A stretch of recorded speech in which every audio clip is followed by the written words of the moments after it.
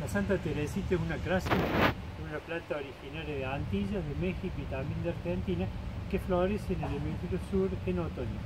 Esta planta, como todas las crásulas, no es resistente al frío debajo de los 5 grados.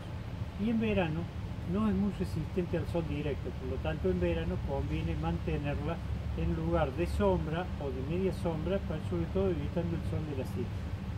El riego de esta planta es moderado, y nunca debe permanecer anegado. Las crásulas en general se reproducen mejor siempre por esqueje. la plantación de esqueje debe realizarse preferentemente en la primavera. Las crásulas, y particularmente la Santa Teresita, tienen que ser fertilizadas durante el proceso de floración. La fertilización preferentemente rica en fósforo y potasio va a ser lo adecuado para tenerla siempre bien a esta planta. Se llama también cactus orquídea, es uno de los nombres populares de la Santa Teresita por la particularidad de esta hermosa flor que usted está apreciando aquí.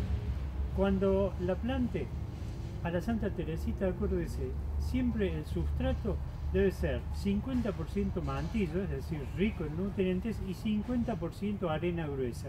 Esa es la fórmula ideal para lograr un desarrollo completo de esta planta que tiende a volcarse de las macetas, por eso es adecuada tenerla como plantas colgantes.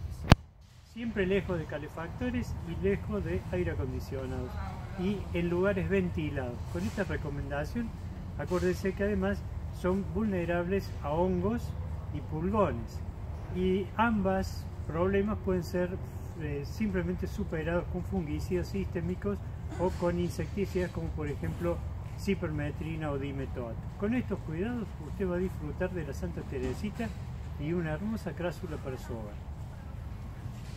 Bien.